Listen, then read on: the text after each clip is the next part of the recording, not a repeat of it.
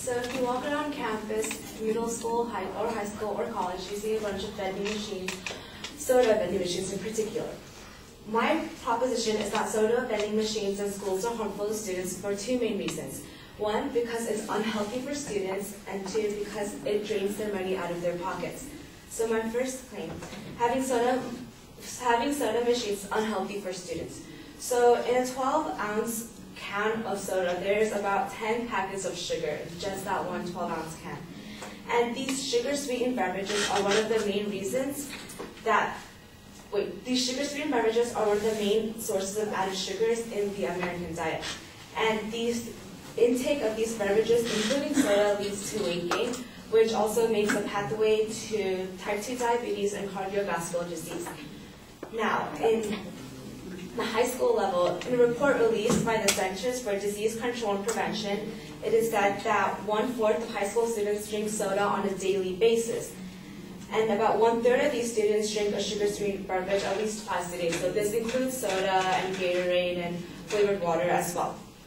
In a 2006 study from the Journal of the American Dietetic Association, it shows that nearly 71% of these children or high school students or college students purchase these sodas and other sweet drinks from the school vending machine itself. So it's not like they're bringing their own soda from home, which is also true, but 71, 71% of them are actually buying it from school.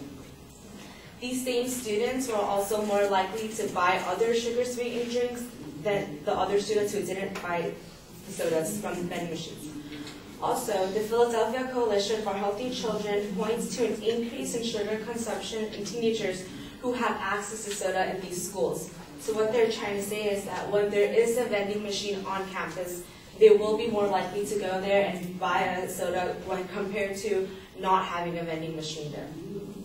Another study con conducted by the American Alliance for Health, Physical Education, Recreation, and Dance shows that there's a direct correlation between the childhood obesity level and the increased intake of soda that has been here, that, that has been around in the past few years.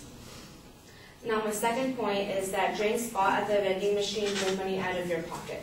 So each soda, say, is about $1.25 or $2, and that's that doesn't seem as much.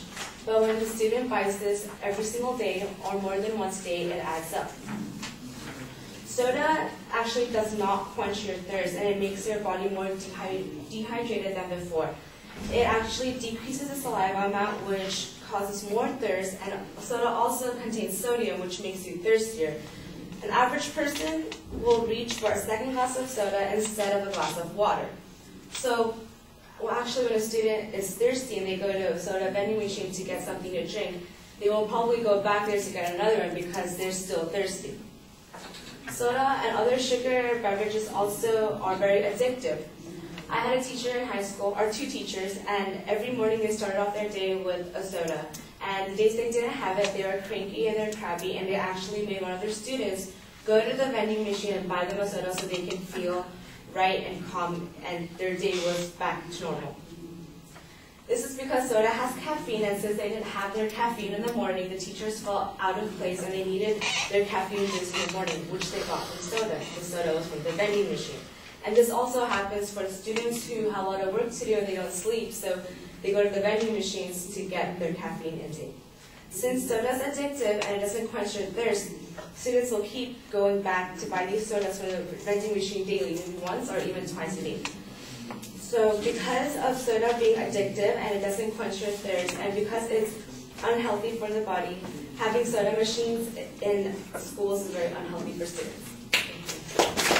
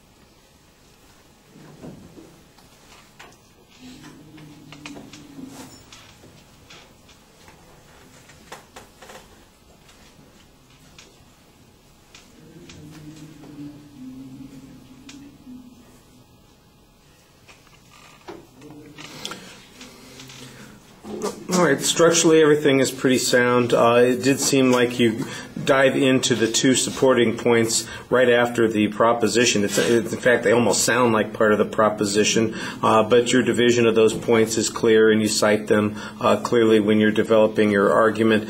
Uh, There's some good statistical information on the first point about the consumption of sodas and about uh, the frequency with which they are obtained at the schools out of the vending machines. I think that that was pretty good. The amount of contribution of sodas to obesity, I think, is a little bit um, presupposed. I think you need to follow up on that more. You ha- you had a quote that addressed that particular issue, but it seems like that would be something that since it's a health issue and that's the main health issue that you're talking about. In fact, it's really the only health issue that ultimately uh, becomes substantial. Uh, then you need to develop that point a little bit more. All the other issues are really less health issues than they are convenience things that people maybe get addicted to it, or you know they they have to have the caffeine, or uh, they're not satisfying their thirst. Those aren't really health issues per se, as much as they are other social issues that might be important.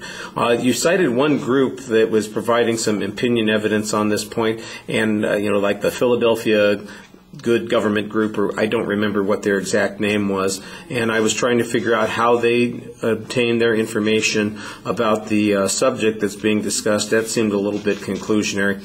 I didn't hear any proof on a whole bunch of the claims that you made about uh, soda not providing uh, satisfaction of thirst. Uh, that uh, sodas, you know, the issue of the caffeine, I think, is probably uh, relevant and true, but you've got two examples from your high school experience there, and the same thing could be said if they didn't get their coffee or didn't have enough apples or whatever it is that they get their caffeine from each day. Why is it soda that is responsible for that? If that was their daily consumption, they, they usually had the soda, then that's you know uh, something that illustrates your point pretty well, but again, I think the issue here is caffeine as opposed to the sodas themselves. That's just the delivery system, just like the vending machines of the delivery system.